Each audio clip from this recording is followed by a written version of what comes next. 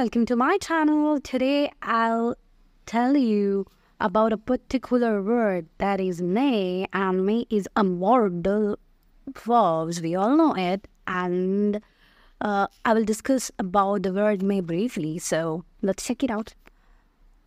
May shows the possibilities. Okay, when you are using may, it means you are here are showing the possibilities. Like, may Ria be upset with you? Go check on her. So this is a possibility that Ria may upset, right? It's not sure that Ria must be upset, but Ria may upset.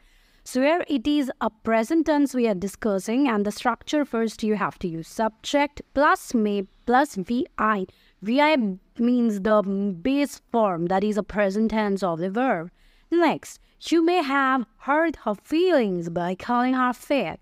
So here what, what it is like uh, here the word me again you are using to express some possibilities not the surety things it's just the possibilities. So uh, it's uh, in past tense and the structure is subject plus may plus have and V3 it means a past participle third form of verb right?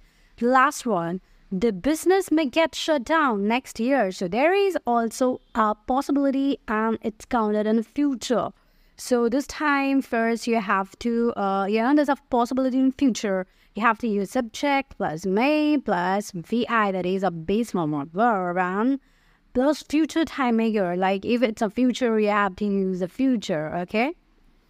Like will or may get, you know, may get shut down in the next year. Second one, permission. So what it is, permission means you are asking for a permission for someone.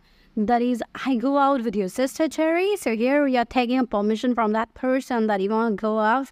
But you know, with your uh, like with his sister. So here you're asking for a permission, right? Obviously, we should take permission. We are going with someone's sister, right? So the next one, you will use my car if you want. So again, you are just giving someone permission that you can use my car if, you want it, if you need it.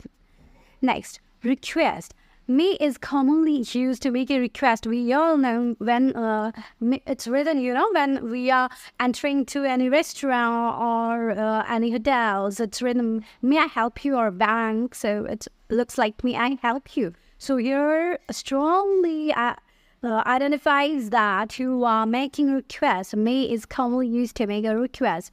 May I join you guys? Again, you're requesting for joining to the team may come with you on a trip. So again, here the same thing. You are requesting to that person that you want to come to that trip. Next one, wishes.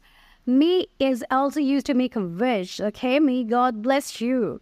Okay, here uh, you we are wishing someone that all the may God help you. It's your wish from your heart. May Almighty be with you. You are again making a wish that Almighty may be with you for all the time. May you both be always happy. This is a very common, we use it most of the times. May you both be happy always. Now, not unsolicited advice or suggestion. So may is often used to give unsolicited advice. Or here the speaker looks very polite while giving advices. You know, when you're giving someone's advice, you cannot be rude you should uh, behave politely. You should talk politely. So let's check it out.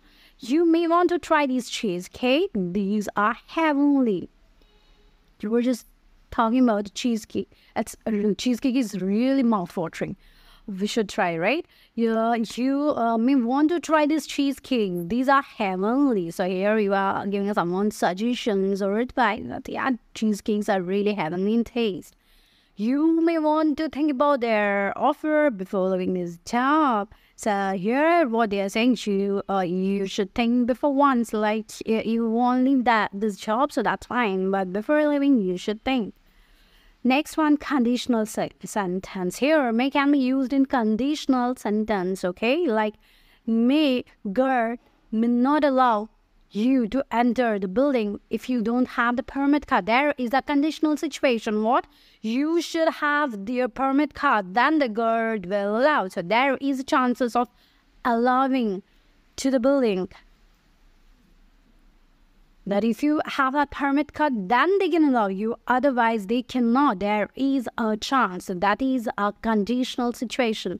Next, we may have won the match if it if it had not rained. Again, there is a situation, or here again there is a condition that we may have won. It may possible we may, but due to of the rain, due to of this you know patchy uh, field, we cannot able to win the match. So obviously may denote many a thing possibilities, permission, request, wishes, suggestions, and conditional situations or may also use in conditional sentences.